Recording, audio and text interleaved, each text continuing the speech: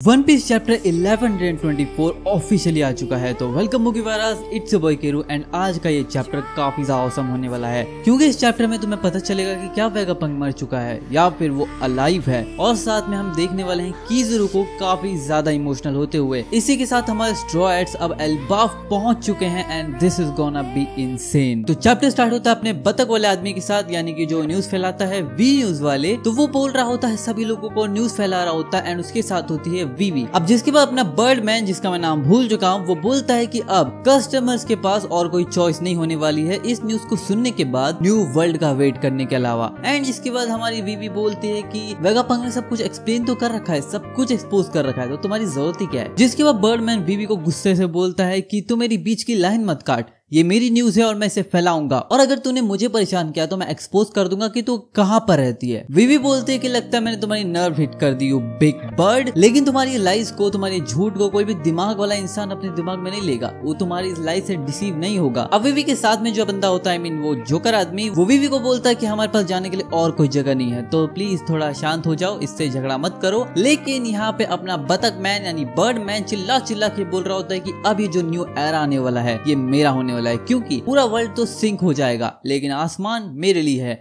तो मैं आसमान में उड़कर बच जाऊँगा। जिसके बाद बीवी बोलती है कि अगर तू अकेला दुनिया में बचेगा तो क्या फ़ायदा? अकेले बच के क्या ही कर लेगा तू दुनिया में? मतलब सब लोग मर जाएँगे, लेकिन तू बचेगा तो इसमें रहने में मज़ा नहीं है। जिसके बाद बर्डमैन बोलता है कि वो प्रिंसेस अपनी खाली जबान को थोड़ा कंट्रोल में रखो जी। अब जिसके बाद बर्डमैन चिल्ला चिल्ला के न्यूज़ को फैलाने वाला होता है एंड वो बोलता है की, अब बाढ़ आने वाली है, बहुत ही एपिक न्यूज़ की। सबसे पहली न्यूज़ ये होती है की ब्लैक बियर्ड यानी कि emperor black beard versus Trafalgar law के अंदर फाइट हो रही है emperor red hair versus captain kid के अंदर फाइट हो रही है, और एम्पर स्ट्रॉ हेड लूफी ने मर्डर कर दिया है वेगा पंक का। एंड जिसके बाद वीवी बोलती है कि, ओ लायर कितना झूठ बोलता है तू? अब जिसके बाद हम लोग वापस से एगहेड के पास आते हैं एंड यहाँ पर कीजरू पहुँच चुका था एगहेड के ऊपर। कीजरू के पास अकायनो का कॉल आता है एंड वो उसे पूछ रहा होता है कि, क्या सब लोग मर गए? कीजरू बोलता है कि, तुम बहुत ही ज़्यादा नॉइजी हो, लेकिन अकायनो यहाँ पे ये बोलता है कि, तुमने कॉल कैसे पिक किया? बाकी लोगों को क्या हो रहा है? कीजरू बोलता है कि तुम एग हेड में आकर देखो, यहाँ पे सभी लोग आउट कोल्ड हो चुके हैं। सभी लोग बहुत ज़्यादा बुरी कंडीशन में हैं। एंड जिसके बाद अकाइनो पूछता है कि सैंटन का क्या हुआ? आई मीन सैटन बचा है कि नहीं? अलाइव है कि नहीं? और पावर प्लांट का क्या हुआ? और जो एस्केप किए उन लोगों का क्या? अकाइनो का जवाब देते हुए किजरू ये बोलता है की जब ये यंग वंस यानी कि जो बेहोश हो रखे हैं, ये सभी जागेंगे, तब मैं तुम्हें बताऊँगा। लेकिन अकाइनो उसको बोलता है की तुम्हारी हाफ़ एस्ट वर्क जो की उसने काम किया है,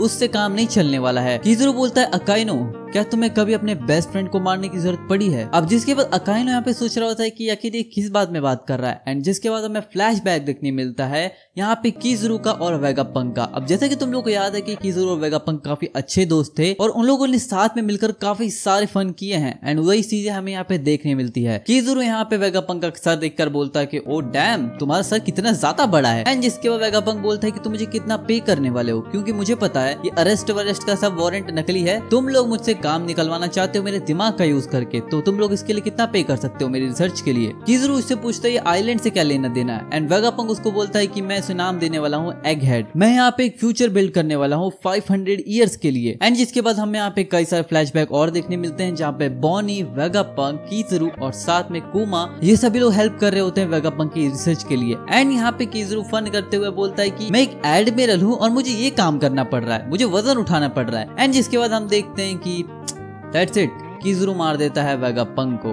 And this is really emotional literally emotional क्योंकि वो अपने बेस्ट फ्रेंड को ही मारता है. क्यों? क्योंकि सैटन ने उसे बोला था. जिसके बाद किजरू बोलता है कि तुमने कहा कि मैंने एक हाफ़ एस जॉब किया है. यानी कि मेरा काम इतना कुछ अच्छा नहीं था. If you have got the time to doubt then come see it with your own eyes you little shit and कीजरू यहाँ पे रो रहा होता है, गुस्से में होता है, उसकी सारी फीलिंग्स मैश अप हो रही होती है, क्योंकि वो यहाँ पे वेगापंक के लिए अपने बेस्ट फ्रेंड के लिए इमोशनल हो रहा था एंड साथ में कीजरू यहाँ पे गुस्सा हो रहा था अकाइनो के ऊपर। अब नेक्स्ट पैनल के अंदर हम आ जाते हैं सीधा एल्बाव की शिप के अंदर, जहाँ पर हम देखते हैं यहाँ पे फ्रेंकी और जिम्बे को जो की बातें कर रहे होते हैं। जिम्बे यहाँ पे पूछ रहा होता है क्या पार्टी ओवर हो गई? बहुत ज़्यादा शांति है। फ्रेंकी बोलता है की अभी तो सभी लोगों ने सिर्फ़ एक ही ड्रिंक किया है, लेकिन मैंने आज तक लूफी को इतना ज़्यादा डिप्रेस नहीं देखा। और इसके बाद जिम्बे बोलता है ऑब्वियसली वो होगा क्योंकि हमने अपना ऑब्जेक्टिव पूरा नहीं किया। एंड जिसके बाद फ्लैशबैक आता है यहाँ पे वेगापंक का जो कि उनसे रिक्वेस्ट कर रहा होता है कि उसे बचाया जाए। एंड uh, यही तो उनका ऑब्जेक्टिव था वेगापंक को बचाने का लेकिन वो उसे पूरा नहीं कर पाए। फ्रेंकी बोलता है कि फाइव एल्डर्स उसके एडमिरल्स और कॉब्स इतने सारे लोगों से बच के आना बहुत ही बड़ी बात है। हम ऐसा कर भी कैसे पाई एक मिराकल है। जिसके बाद जिम्बे बोलता है कि हाँ मैं तुमसे अग्री करता हूँ। ये लिटरली बहुत हार्ड था लेकिन हमने इसे कैसे जैसे पुल ऑफ़ कर लिया। लेकिन यहाँ पे जोरो ये दारू पी रहा और मगन हो चुका है। ये यहाँ पे लूफी को रोस्ट कर रहा है। लूफी को ज़रूर बोलता है कि वो कितना ज़्यादा बेकार हो चुका है। एम्पर बनने के बाद भी एक ओल्ड मैन की डेथ के ऊपर इतना ज़्यादा इमोशनल क्यों होना? एक ओल्ड मैन की डेथ से वो डील नहीं कर पा रहा जब वो एम्पर बन चुका है। वैसे बात सच है, क्योंकि एम्पर है तो कठोर दिल तो रखना पड़ेगा। लेकिन जोरो भैया, यहाँ पे थोड़ा इमोशनल तो होना पड़ेगा ना। वेकअप मरा भाई, नॉर्मल बात नहीं है। इतना अच्छा क्या उसने वर्ल्ड के लिए? एंड एट द एंड उसकी डेथ। अब नेक्स्ट पहले के अंदर हम देखते हैं बहुत ही चार्मिंग सीन क्योंकि यहाँ पे लिलित जाग जाती है and she is quite looking good Lilith के जागने के बाद यहाँ पे सब लोग काफ़ी खुश हो जाते हैं। हा हा thank goodness you okay Lilith अब लिलित को यहाँ पे कुछ समझ नहीं आ रहा होता, जिसके बाद सभी लोग उसको एक्सप्लेन करते हैं कि हम लोग जाइंट शिप के ऊपर हैं अल्बाफ के लिए निकल चुके हैं, लेकिन हम लोग तुम्हारे अलावा और किसी वेगापंक को बचा नहीं पाए। नाम यहाँ पे बोलते कि अटलस ने तुम्हें नॉकआउट कर दिया था, शायद तुम्हें इसलिए कुछ भी याद नहीं। एंड जिसके बाद बोलते कि I just hear everything and Sanji बोलता है, क्या? किससे सुना तुमने? जिसके बाद यहाँ पे हम देखते हैं कि वो रोने लग जाती है, बोलते हैं कि wait a minute I want to cry and वो रोने लगती है काफ़ी ज़ोर ज़ोर से उसे बोलता है कि तुम्हारा ईवील वाली चीज़ कहाँ गई? वो एलिमेंट है कि नहीं तुम्हारे अंदर? अब थोड़ी देर रोने के बाद वो अपने मूड को तुरंत स्विच कर लेती है। आई मीन लिटरली दो सेकंड भी नहीं लगे उसको। एंड सब लोग भी लाइक व्हाट द है अब जिसके बाद ब्रुक यहाँ पे लिलित को ले आता है खाने के लिए टेबल के ऊपर जाइंट की टेबल के ऊपर, जहाँ पे वो बोलता है कि यार जाइंट की टेबल सजी हुई है। यहाँ पे फ्रूट्स है वेजिटेबल जो तुम्हें खाना दबा के खाओ। एंड जिसके बाद हम देखते हैं लूफी को, जो की बहुत ज़्यादा इमोशनल हो रखा था, रो रहा था, पर खा रहा था। लूफी यहाँ पे बोलता है की हमने प्रॉमिस किया था उसे बचाने का। मैंने उस ओल्ड मैन एप्पल को बोला था कि मैं उसे बचाऊँगा, लेकिन हमने अपना प्रॉमिस तोड़ दिया, मैं उसे बचा नहीं पाया। अब लूफी को यहाँ पे इमोशनल होता हुआ देखकर बट खाते हुए देखकर चॉपर काफ़ी ज़्यादा इमोशनल हो जाता है। एंड चॉपर भी लाइक वो सिर्फ़ पाँच बुशेस को अपने मुँह में डाल पा रहा है। आई मीन सिर्फ़ पाँच। एंड लाइक लिलित भी लाइक दैट्स प्लेंटी काफ़ी है भाई भाई मतलब चौपर बोलना चाहता है कि वो कितना, इतना दुखी है कि सिर्फ़ पाँच ग्रेप्स को खा पा रहा है। ओडा से you cooked in this panel भाई लिटरली फनी है, काफ़ी ज़्यादा। मेरे को हँसी रोके नहीं जा रही होगी अब लिलित यहाँ पे बोलते हैं कि अच्छा तो लूफी इसको बहुत ज़्यादा सीरियसली ले रहा है। जिसके बाद लिलित बोलते हैं कि a second ago I was crying because I was just sad about everyone's death लेकिन यहाँ पे सब लोग मरे नहीं है। To put it simply everyone is alive and ये सुनने के बाद मैं तो शौक हुई, लेकिन सबसे ज़्यादा शौक तो Luffy Chopper